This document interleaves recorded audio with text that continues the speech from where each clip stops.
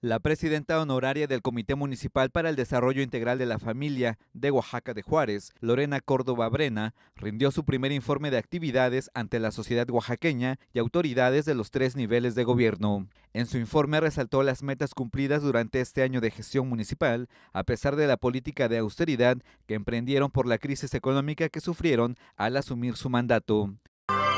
Desde el primero de enero de 2017, asumí la responsabilidad de apoyar a Toño en la presidencia honoraria del Comité DIF Municipal, compartida, por supuesto, con un grupo muy entusiasta de colaboradores, dirigidos atinadamente por el profesor Valentín Cruz Sánchez, director de este comité, dándonos a la tarea de fortalecer los programas existentes e incluir nuevos proyectos que respondieran a las necesidades de los habitantes en situación de vulnerabilidad del municipio.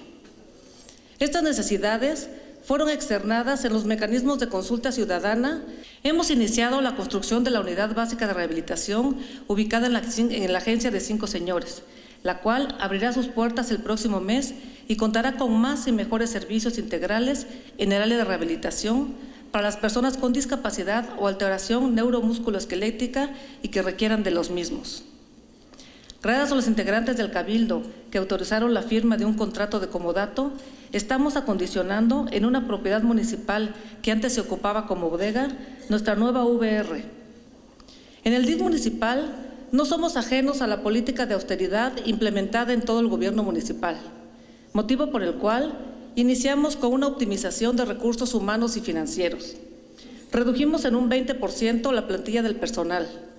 En el área financiera hubo una reducción en gasolina, telefonía, gastos de representación, así como un ahorro significativo del 30% al adquirir los productos directamente con proveedores y no a través de comercializadoras.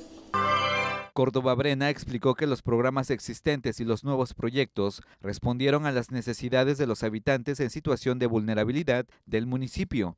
En este esquema, mediante metas establecidas y con un sistema permanente de seguimiento, control y evaluación, se logró aumentar la cobertura de servicios a la población, otorgando un total de 74.422 y con un sistema permanente de seguimiento, control y evaluación de los programas y proyectos de las diferentes direcciones, logramos aumentar la cobertura respecto al año anterior, otorgando 74.422 servicios.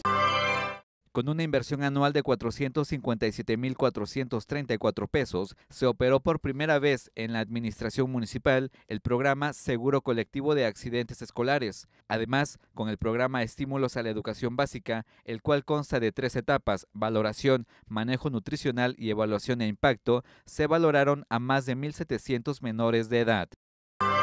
Nuestra Dirección de Programas Sociales opera de manera confiable y eficiente los programas de estímulos a la educación básica y seguro colectivo de accidentes escolares. Con una inversión de 8.625.000 pesos, el programa Estímulos a la Educación Básica atendió a una población de 1.700 niñas y niños en 91 escuelas de las 13 agencias y cabecera municipal.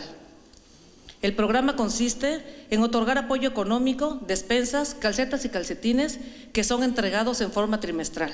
De acuerdo a cifras del Consejo Nacional de Evaluación de la Política de Desarrollo Social, en el 2016 el 15.9% de la población carece de los servicios de salud y el 77.9% no tiene acceso a la seguridad social.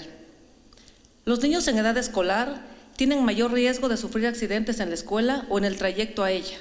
Por esta razón, y con la finalidad de que nuestros niños reciban la atención y asistencia necesaria, operamos con una inversión anual de 457.434 pesos el seguro colectivo de accidentes escolares.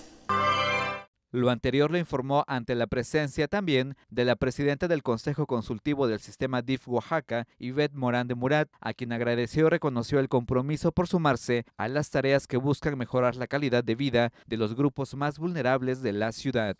Con información de Deimos Sánchez e imágenes de Alfonso Morales, MVM Televisión.